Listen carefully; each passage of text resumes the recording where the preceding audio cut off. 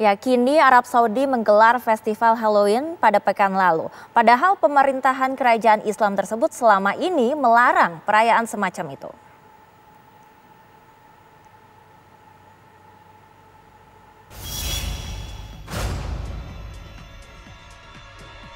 Arab Saudi di bawah Pangeran Muhammad bin Salman berubah drastis.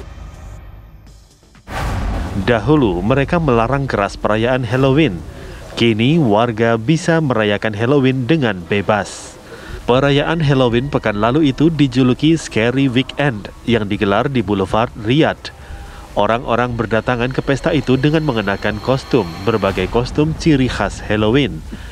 Menurut media setempat, festival Halloween ini digelar sebagai bagian dari Riyadh Season yang berlangsung di ibu kota.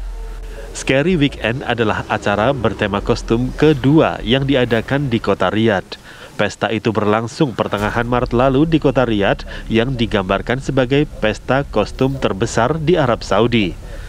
Agar tidak terlihat seperti acara memperingati Halloween, pemerintah Arab Saudi menggelar pesta topeng itu sebelum perayaan Halloween yang dirayakan setiap 31 Oktober. Perayaan Halloween ini pun memicu berbagai kritik dari umat muslim dunia yang memandang Saudi sebagai pusat ajaran Islam. Sedangkan Islam dikenal tidak merayakan perayaan Halloween yang dipandang sebagai budaya dari negara barat. Selain itu, sebagian netizen mengkritik keras pemerintah Saudi karena dinilai standar ganda.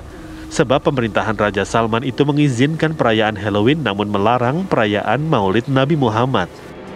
Sejak Pangeran Muhammad bin Salman diangkat sebagai putra mahkota, negara tersebut terus melakukan berbagai dobrakan ke arah lebih moderat.